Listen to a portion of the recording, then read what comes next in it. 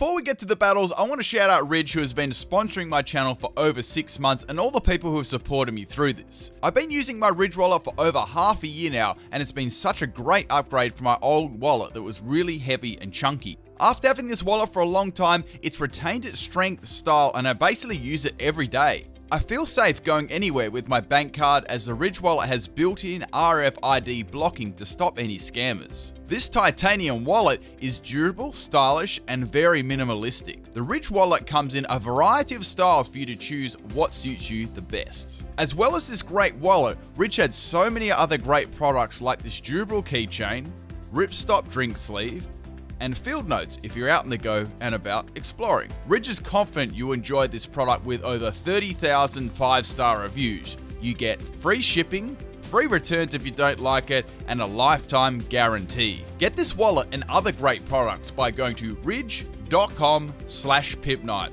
That's right, ridge.com slash pimpnite and use code pimpnite for 10% off. Link in the description.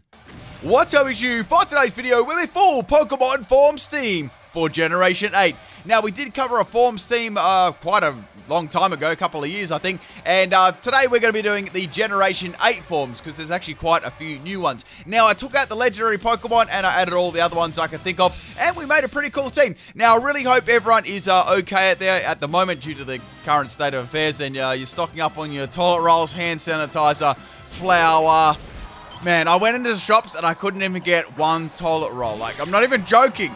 Anyway, guys, on a more serious note, I'm going to have content almost every day because I know there's some people home uh, actually stuck. Uh, the school's closed or whatever like that. So uh, if you're one of those people, let me know. I hope that everything's going right for you. And uh, seriously, uh, best wishes to everyone. All right, so we got two battles today and we got a Ferrothorn. Nothing like versing a nice fresh, shiny Ferrothorn in the morning. So we're going to swap here from my Morpeko. More on that Morpeko set a little bit later. I was pretty much walled by that, so there's no point um, me staying in. So we're going to be going into Galar Darmanitans. Obviously, we've got the Zen mode as the other form in this one. And on the Morpeko, we've got the Hungry and non-Hungry form. Uh, pretty much. So, uh, I thought I'd go for a belly drum here because it's a quite a good matchup for me. I can set that up. Uh, you know, Galar Darmanitan always has a fire type move. But for some reason, Ferrothorn stays in. So it's like, why did it even stay in for? It knows I can one-shot it, but, you know, whatever. It's going to go for a Gyro Ball and take me out. So very, like, sort of, like, weird uh, play there. I'm not, I don't know, like, uh, I don't think they were expecting a belly drum. Anyway, um, that was Zen. That was the Zen mode, not uh, Gorilla Tactics, by the way. So we got the Toxtricity coming in. Obviously, there's a Toxtricity Amp form and a Low-Key form. I'm going to be running a physical set today. I've got the Expert Belt as the item and Max Attack and Max Speed and Jolly Nature. So Ferrothorn withstands that Fire Punch. Unfortunately, obviously due to Toxtricity, doesn't have the greatest attack in the world, not stab and all those sort of things. And of course, Ferrothorn is very bulky. So Ferrothorn's going to set up uh, some more spikes there. This is just being a general pain in the uh, Ferrothorn backside, which would be pretty spiky. But we're going to get rid of it in another shot. So we got Drain Punch here. Now, this is actually quite a good Dynamax Pokemon on the physical side. I know its speed kind of lets it down, but you can get some uh, Max Knuckles up with the Drain Punch and uh, be pretty powerful with especially that Gunk Shot, if it lands, of course. So, Ferrothorn is finally going to go down to a Fiery Fist, but uh, man, Ferrothorn did a pretty good number on my team. Got rid of my uh, Galar Darmanitan and did over half health to my Toxtricity just due to its ability and uh, item. Okay, so that's down. That, that's good news, right? We still have uh, five other Pokemon to contend with, though. Now, next Pokemon is the Gyarados. So this was an interesting swap in. I didn't show off that I had any uh, electric-type moves, but then again, I probably wouldn't use them. So this one is a going to be a Wild Charge straight to Gyarados' uh, red face. So I go for that uh, wild charge there, and it's definitely not going to be living that one. Gyarados is down. Gyarados is such a scary Pokemon too. Um, he can get a Moxie up and just pretty much sweep with the Max Airstream. It's crazy. So I was very, very happy to get rid of that. All right, next Pokemon I got here is the Toxicroak. Uh, I think they're running a shiny, a full shiny team too, so I can go for any type of move here. I was expecting Fake Out or Sucker Punch. This Pokemon has a lot of priority, right? Uh, bullet Punch, like a Vacuum Wave, had so much. Okay, so uh, that's the uh, Toxtricity down, but Toxtricity did a good job, got rid of two Pokemon. Very, very nice there.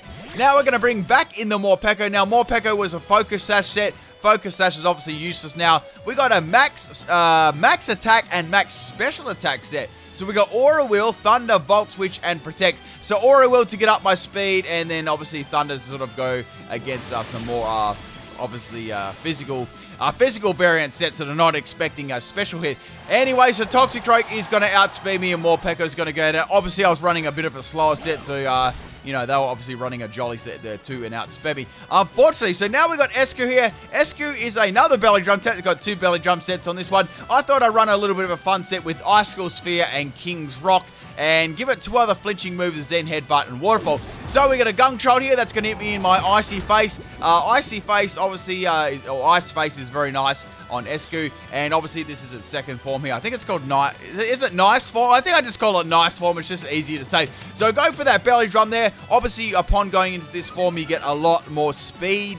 And uh, yeah, you're just going to be able to outspeed stuff really, really well. Now, I know that it's got Sucker Punch. I do have 50 health left, so I'm quite confident I could probably just, just live and, uh, you know, go for a Zen Headbutt or an Icicle Spear. But I really wanted to use Icicle Spear, so I went for that. Now, this doesn't have, like, obviously it doesn't have skill link or anything like that, so you got to obviously put up with the uh, two to five turns hit. So if this hits five turns, it's really good, but if it only hits two, uh, sometimes it can live after a belly drum, right? Had some situations there. All right, so Ditto's going to slide in here real quick, and it's going to copy all my stats and, of course, my form as well. So, like, okay, if this has got Choice Scarf, I'm in a bit of trouble here because this will outspeed me and take me up.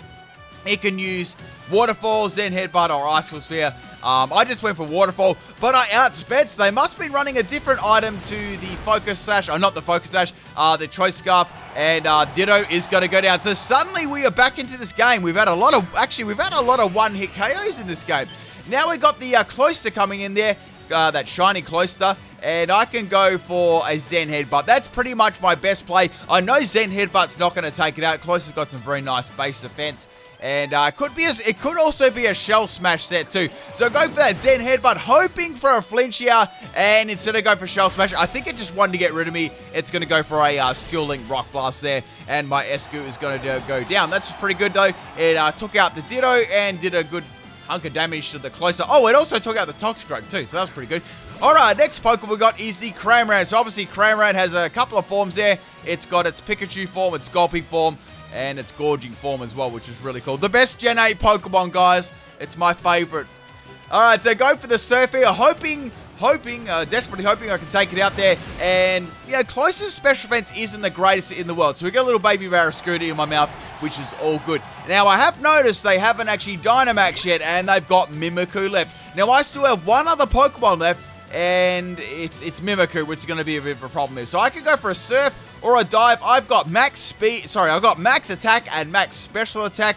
Dive with the power herb. I've got endure and brave bird. So this is like another mix set, kind of like that. Um, not the Eiscue, the uh, the Morpeko, very, very similar. So now we got the uh, Mimikyu going for a Sword Dance. That's actually really good because that's going to allow me to get rid of its disguise and, you know, and go for Surf as well. Plus, I've still got my Pokemon uh, little Barraskewda in my mouth there too, which is going to fire off and do some damage. So Disguise is busted, and I was like, okay, they have to go for a Dynamax now. They're like, there'll be no point in them not going for a Dynamax. They haven't used the strongest mechanic in Pokemon ever, so like, why are they not going to use it? So then I was thinking, maybe I should go for Endure to stall out a turn. And I was like, what if they don't and go for another Sword Dance? That could be a waste of turn. And then I was like, it doesn't probably matter. I'm just going to go for an attacking move here and do as much damage as possible. But then they Dynamax. I was like, okay, they're going to Dynamax the next turn when I bring in my last Pokemon. So I wish I kind of went for the Endure there, but that's how, uh, you know, the cookie crumbles. So we're getting some damage there, getting a defense shot, which is nice. Not that it's really going to matter because I got one other Pokemon, but it's a special attacker. So Mimikyu's got Life Orb and it's got a Sword Dance up. And of course, the last Pokemon is the Polteageist. So Polteageist does have uh, two different forms. Um, it's got the normal and the uh, antique form. You can see the little uh, or authenticity. I think that's the right word. Like a little label on, on its backside. Like you got a teapot right in real life, and there's like that little, um, not a sticker, but like a little label. I'm saying like this is an authentic teapot. You know, or this is authentic China. You know what I mean? Anyway, so uh, we got this uh, Dynamax, uh, we got the Dynamax Mimikyu, but I didn't Dynamax right because I'm running a Choice Scarf Polteageist. So I thought, if they're Dynamax, which I a thousand percent know they're to do, They'll probably think I'm going to Dynamax, right? And they'll need that extra base power to take me out instead of go for Shadow Sneak.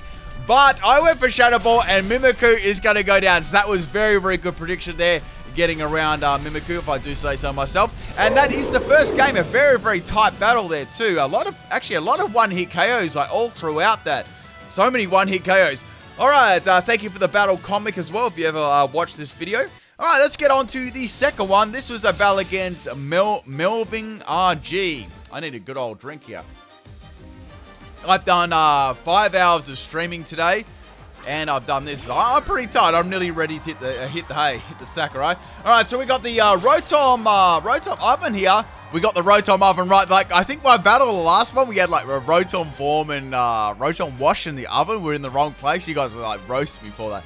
So we're starting off with Morpeko. I'm going to go for a Protect here because I want to get into Hangry mode and uh, change the type of Aura Wheel. Now, Aura Wheel is a really cool move. You guys know what this move does already. If you don't, pretty much each when you go into each of its modes, the typing of the moves changes. So obviously, uh, it's going to be a Dark type move at the moment, and in the um, obviously non-Hangry form, um, I'm going to go for an Electric type move with Aura Wheel. So Aura Wheel does some really impressive damage there, which is nice.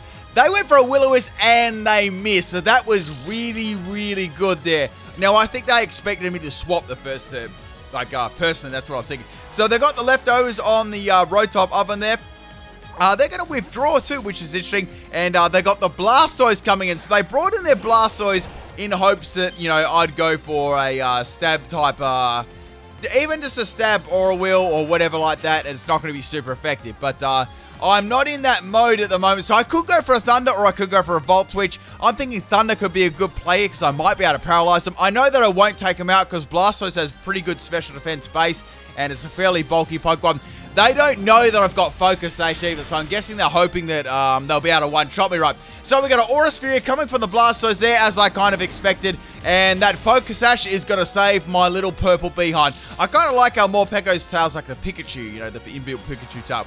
Right, uh, so I'm back in my normal form here. I can go for an Aura, Aura Wheel, I was nearly said an Aura Sphere there. All these Aura moves, man. Uh, they swapped out and they went into Hitmontop. Now, Hitmontop, no doubt, has Intimidate, which is going to drop my attack. Now, I do have Thunder. I do know this thing does have, like, Fake Out, uh, Bullet Punch. Like, it's got a lot, uh, Mach Punch. It's got a lot of, uh, um, you know, low base power uh, Technician sets, but it's not Technician's Intimidate. But regardless, I thought, let's go for Protect and see what it's going to do. I might be able to change my form as well, which could be handy. So they're going to go for a Bullet Punch here.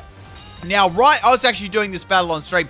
Right when that Pokemon used Bullet Punch, right, I checked, I looked to the side and looked at my chat to say hi to people. And then I looked back and then he went for Bullet Punch. I was like, oh, I would have, like 100% would have swapped then if I didn't look away. So this this was actually a battle during my live stream. So that's why I stayed in. If you, that was sort of like a strange play. So anyway, um, there's nothing I can do there. I'm going to go for a Choice Scarf Psychic and hopefully take out this Hitmontop. Hitmontop already sustained some prior damage, and that is going to go down. Um, Hitmontop actually doesn't have too bad special defense too, so I was hoping I could, you know, bury that one quickly. All right, so we got the Dragapult coming out here. Net man, I've never seen Dragapult ever. One day, man, I hope to see another Dragapult again. You know, it's such a rare Pokemon. So now we're going to do a swap into Cramorant here. We got a physical uh, Dragon Dancing set. So I'm thinking Dragon Darts. Uh, this could be a big problem, right? I was thinking I could swap in Eiscue of Ice Face, but it could be able to get around that if I got the uh, Dragon Dart set. Alright, so I don't have a lot of options at the moment. It's going to go for a Phantom Force. I was like, oh, okay. So instead of going for Dragon Darts, it's got Phantom Force. So Phantom Force is going to drop really hard. Phantom Force has a lot of base power at the price of, um, you know, having two turns sort of charge up. So, uh, going to go for the Endure here because I know that I'm going to get one-shotted. Uh, Dragapult's going to spank me on my natural blue ass, but I'm going to live on one health there, and it's going to take some life orb damage. That's the best I can pretty much do. And then it's going to go for a Sucker Punch that's got Dragon Dance and Sucker Punch, which is really interesting there. So it's got one other move. I was like, what does it have? It's got quick attack, guys. So many times during stream, I've been beaten by quick attack Dragapult. It's not even funny. Like, it's actually a meme. Like, the meme turned into something true. Like, it was crazy how many I've seen. So, we're into Eiscue now. I can go for an Icicle Spear. Um, it could go for a Dragon Darts. If it has Dragon Darts, I know that I can live, but it, we, we, we went for a Phantom Force instead. It's like, okay. So it clearly doesn't have that move. It clearly doesn't have. Maybe it's got like a special move, it's Courage. But then again, I feel like it uses. So it must have another move. Hmm. I'm trying to think off the top of my head what it'll be running. Anyway, so I get spanked on my Ice Cube, and uh, that is going to break my Ice Face. So obviously I'm a lot faster now, and I'm going to go for the Icicle Spear. Now, I don't have a Belly Drum or anything up there, and Dragapult has reasonable bulk to it, so I'm hoping I can hit this thing like a couple of times. So there's the first Icicle Spear. The second one's going to drop a little bit harder than the first, and we get that third Icicle Spear. That was very, very important there.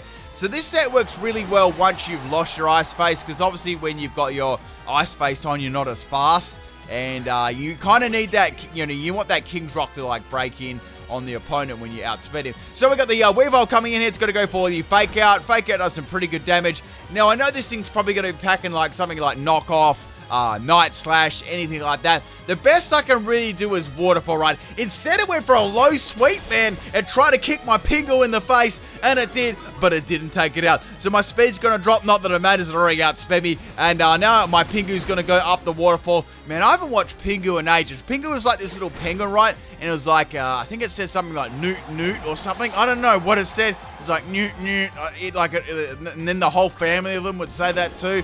Man, I watched that when I was like two. Or um, they were good. They were the gold days, man. Anyway, so I'm going to bring Toxtricity here. I almost went into Polteageist and expected them to go for another low sweep, but they went for knockoff, so I'm glad I didn't do that. All right, so we're going to knock off again from the Weavile. It's going to knock off my Expert Belt. Not that it matters because I'm going to be able to take this out easy with a Drain Punch there, uh, being four times super effective, and getting some nice uh, health sustain for my Toxtricity, which is good. So well into the green now. So we've got a Blastoise left, we've got a Rotom Oven, and we've got one other. So the next Pokemon we haven't seen is the Kommo-o. Now this was a problem Pokemon because there's not a lot I could do. I was thinking if this has got Bulletproof right, this is going to be quite hard to take out. Like I don't have much that's very like effective against this either. So I decided to go for Drain Punch. That was sort of like my best bet here to try and do some damage and get some health back, right? Doesn't do a lot of damage, plus I don't have anything super effective, so um, and Toxtricity's attack isn't very good either. So we got Clangorous Scum here. Uh, this attack is very, very good. So it's going to boost its stats. Um, the, I guess the only good thing about this is actually going to lose some of its health. That that's yeah, that that's that's the only good thing about it. All the rest is bad news. People, it's going to get a lot of boost in its stats. So obviously my attacks are not going to be doing that much here. I can go for a gunk shot. I can go for a drain punch. I know that I'm going to get outsped, and I'm thinking it's got earthquake, and it's going to go for earthquake. And Toxtricity is going to be no more. So all I can do now is send in my Polteageist, which has Psychic Choice Scarf, right? Now, I was thinking after a after a clanger of scum, right? I don't think I'm going to be able to outspeed them, even, even with my Choice Scarf right now. I did go Modest Nature on this one instead of Timid because I needed a little bit more damage output, right? I really needed that extra damage output. So they were thinking for a long time here what to do, and then they went for Earthquake. So like, okay, they outsped me, that sucks. Polteageist just hangs on on 23 health, which is great there. It's going to activate my weak armor too. So, like, that's kind of handy because I can go for a Dynamax, right, and not worry about the speed loss from losing my Choice Scarf, right? So go for that Psychic, and uh, Dragon Dragonazo is going to go down. Was that a nickname, or was that actually like another language? I feel like it was um just a nickname. So we got a Blastoise left, and we got a, a Oven left. So we need a Man, look at those oven mitts. I want to get like a pair of oven mitts, right, that are Rotom hands. That'd, that'd be some good merch. Is, is that a thing already?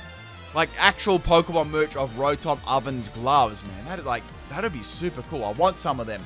And like you get it, you could even put batteries in it and, and, and, and give yourself a little shock. Maybe not, that'd probably be bad. So anyway, um, I can go for a. I was thinking, should I go for a max uh, Phantasm? I've got that plus one in speed already, which will be very, very helpful and there's a Blastoise left, right. So I've still got one more Pokemon uh, waiting in the wings, but uh, we haven't sent that one out quite yet. So I was like, let's go for the Dynamax. Dynamax are low health. They may actually uh, not predict this one. All right, so going for that big... Guys, can you see that little authentic, authentication little um, tag there? You see it below. You can only really see it from behind or uh, just below. It's quite not something you can really uh, pick up too much. So going for the Max, um, Max Phantasm. I nearly said max orgasm. And uh, we, got, we got the Rotom, Rotom oven going down. Alright, so the last Pokemon is the Blastoise. Now, they have a Dynamax shed, but uh, Blastoise has taken a fair amount of damage. Blastoise is shiny, like, I don't know, it, it looks a I guess it looks a little bit better. It's still that, it's still like a mauve color. Maybe they could have done more of that shiny, I'm not sure. So, uh, just waiting for them to make their move at the moment. I know they're going to go for a Dynamax. I can go for a Max Overgrowth coming off Giga Drain too. Um, I know Blastoise does have a lot of special defense, or like a decent amount of special defense and bulk in health, but it has sustained a lot of damage, and I've got a plus one in attack too, so I know that I'm going to be able to outspeed it. Alright, so we've got a big old Blastoise there. Uh, fun fact too, Blastoise gets uh, Shell Smash now. I might have to do a, a Shell Smash Blastoise sweep. Like, I don't know. It, would, it honestly wouldn't be too hard. I could even do like a mix set, right? Because uh, it has good attack and good special attack. Anyway, so firing a couple of seeds out of my teapot there, making a couple of mushrooms, and that, my friends, is the second battle. Hope you guys had fun watching this. It was, uh, it was a pretty fun team to do. So many different forms uh, to play with. So maybe we'll get some more forms in the DLC. I'm not sure. I really like Pokemon forms. They're fun to use. If you enjoyed this video too, people, please drop a like on it. I definitely appreciate that. And I should be back tomorrow with the gym leader team and, of course, some streams. Bring you the content while you're uh, at home. All right, people. Peace out.